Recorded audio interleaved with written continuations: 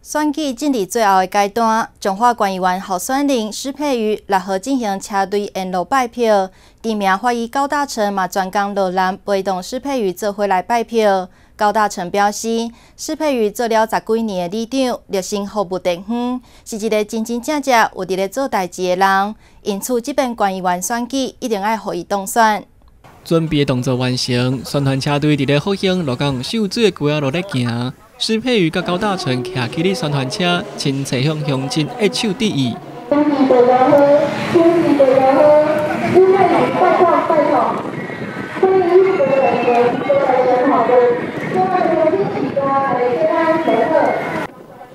距离选举愈来愈近，候选人开始尽力最后的努力。知名法医高大成即个特别来到鹿港为施佩瑜徛台。伊表示，施佩瑜做了十几年的里长，热心服务地方，是一个真真正正有咧做代志的人。因此，这个官员选举是一定要互伊当选。啊，有咧做工过啊！你看人，你做议员，你要做十几年，做甲遮好。即马做选举是正正当当的，名正言顺，拜托大家支持我。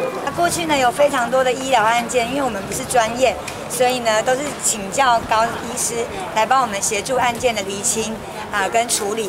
那所以也真的非常感谢高医师哈，啊，那他现在很忙呢，他现在是很夯的那个法医，包括那个很多媒体啊都会去采访他，那很多案件呢他自己也都会在直播上做分析，所以也非常感谢高医师，百忙之中哈，今天特地来到鹿港，然后来到福星秀水地区，要陪佩瑜等一下去车队游行跟扫街，那也感谢大家呢，今天陪着我一起。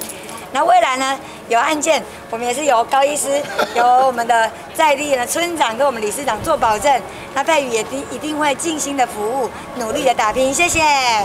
施佩瑜表示，过去伫咧做里长的年内，有真侪医疗案件拢是透过高医师协助厘清甲处理。真感谢高医师，虽然真无用过专工落来加以助选，希望乡亲和少年人一个机会，用选票支持伊当选。新中华新闻蔡良清录讲，彩虹报道。